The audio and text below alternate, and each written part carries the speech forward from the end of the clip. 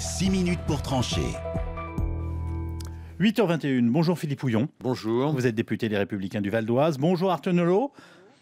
Bonjour. Vous êtes surveillant pénitentiaire en unité dédiée à la maison d'arrêt du Val d'Oise. Merci à l'un et à l'autre euh, d'être avec nous ce matin. Arthur Nolot, je précise qu'il s'agit d'un nom d'emprunt. Euh, pour vous, était-il nécessaire de fermer ces unités, ces fameuses unités dédiées? Et si oui, pourquoi? Oui, il était plus que nécessaire de les fermer. C'était une mise en danger euh, continuelle au sein de ces unités dédiées. moi, j'ai comme exemple, si vous enfermez plusieurs bêtes féroces entre elles, vous les rendrez encore plus féroces. Et là, c'est ce qui s'est passé. Euh, si on met plusieurs personnes avec la même idéologie, comment les en sortir? Le mieux, c'est de, les isoler et de leur montrer qu'il y a autre chose comme, comme idée à avoir dans, la vie que, ce qu'ils ont actuellement. Dangereux pour qui, Arthur Nolot? Pour le personnel pénitentiaire. On a des établissements qui sont en souffrance, qui manquent cruellement au niveau national de personnel. Et on va leur faire créer des unités dédiées euh, soi-disant isolés du reste de la détention, alors que tout est perméable et des surveillants sont dépassés dans les établissements pénitentiaires. Ils sont sur les rotules, ils sont épuisés, plus rien n'est géré. Donc comment créer des unités vraiment dédiées pour ces personnes-là? Philippe Pouillon, vous entendez ce que vient de nous dire Arthur Nolot. Hein. Euh, visiblement, en tout cas pour euh, nos surveillants, c'est un soulagement. Oui, c'est un soulagement. Maintenant, il y a un problème, de mon point de vue, il y a un problème de lisibilité, je m'explique. Euh, actuellement, il y a cinq unités dédiées en France qui accueillent 72 détenus, seulement 72 détenus. Mais parallèlement, il y a 1336 détenus, euh, soit en préventif, comme on dit, en détention provisoire, soit condamnés, euh, qui sont radicalisés. 1336, bien. Qui ne sont donc pas dans les unités dédiées. Bien sûr. Que propose le garde des Sceaux? De mettre les plus dangereux dans les quartiers de haute sécurité des centrales. Il a raison de mettre 190 personnes, c'est-à-dire au-delà des unités dédiées, hein, soyons bien clairs, 190 mhm. personnes dans des cellules individuelles avec un traitement personnalisé, et de répartir euh, le reste dans 27 établissements avec une prise en charge spécifique. Donc, entre prise en charge spécifique et unité dédiée, quelle est vraiment la différence? Il y a deux, je, vous pose la question, vous n'avez pas la réponse? Ah, mais j'ai pas la réponse puisque c'est une annonce d'hier. Je ne sais pas comment ça va fonctionner. J'ajoute euh, pour la parfaite information que les unités dites dédiées ont été créées en janvier 2016 euh, c'est-à-dire très très récemment, et qu'il n'y a pour l'instant aucun retour d'expérience. Pardonnez-moi, vous venez de me dire deux choses là. Un, qu'on ferme trop tôt.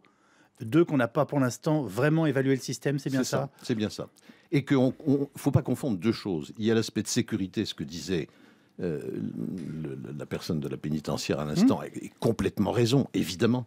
Hein, problème de la sécurité, problème de la prise en charge. Parce qu'un jour, ces détenus, ils vont sortir. il parle de bêtes féroces enfermées entre elles. Est-ce que c'est une notion qui, pour vous, a un sens, vous qui travaillez sur ces questions depuis des années Oui, bien sûr, bien sûr que oui. Il a raison.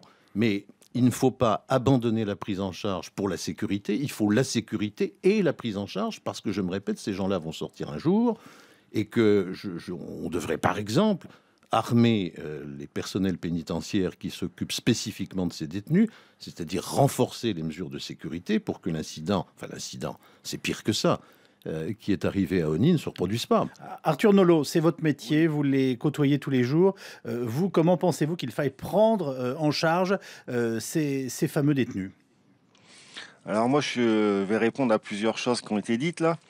Les répartir dans, des, dans différents établissements, pourquoi pas?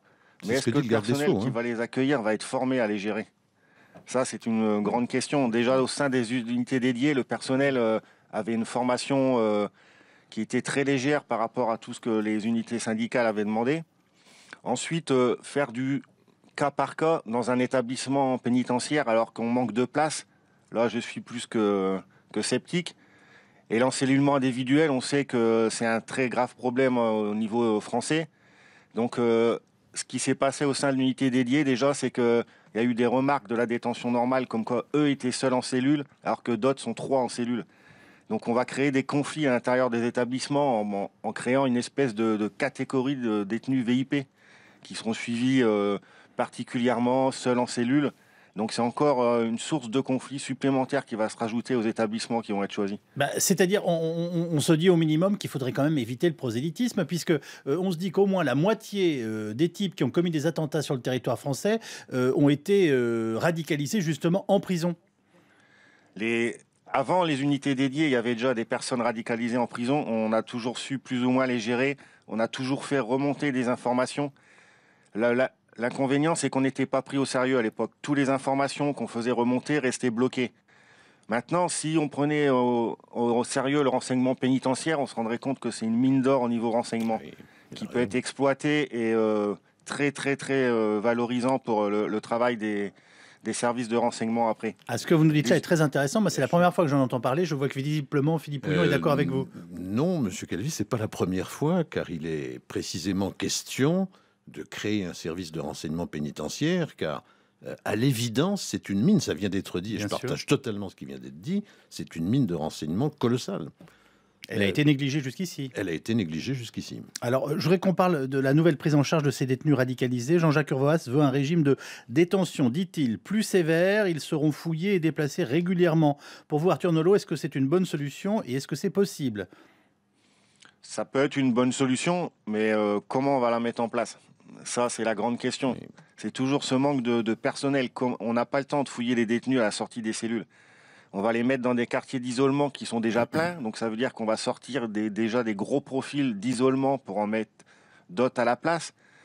Euh, comment, comment on va gérer ça si, Il faut bien comprendre que là, actuellement, les établissements pénitentiaires manquent de personnel. Tous les personnels au niveau national sont HS, sont usés par les, les heures qu'ils font au niveau du travail et les heures supplémentaires qui sont engendrées par les services.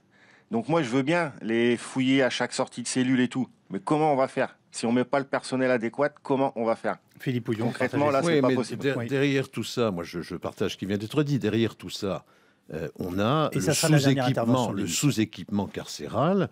Euh, des places de prison avaient été, la construction de places de prison avait été euh, décidée, puis Madame Taubira a décidé de les arrêter. On paye ça, mais aujourd'hui, c'est pas la sécurité ou euh, la prise en charge, c'est la sécurité et la prise en charge. Euh, c'est ça qu'il faut absolument privilégier avec la formation. Enfin, je partage ce qui vient d'être dit et, en faisant très attention au fait que ces gens-là un jour vont sortir, donc il faut les traiter. On a bien compris, en tout cas en vous écoutant l'un et l'autre, que pour Arthur Nolot, euh, surveillant pénitentiaire, il y a un problème de dangerosité qui n'était pas réglé. Et, que vous, Philippe Pouillon, vous nous dites c'était peut-être une bonne idée, mais il aurait fallu en tout cas au minimum euh, travailler dessus plus longtemps. Je vous ai bien compris. C'est tout à fait ça. Merci infiniment l'un et l'autre d'être venus débattre ce matin.